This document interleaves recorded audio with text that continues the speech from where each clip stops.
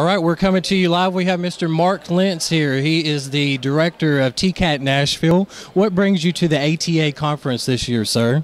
Well, several things. One thing is a great networking opportunity for all the TCAT personnel and for the directors. But the other thing is this fantastic facility, the crown jewel of the TCATs right now here in Smyrna. What a beautiful facility and what a great training opportunity for our citizens here in the great state of Tennessee. Know, it's a great thing to be part of.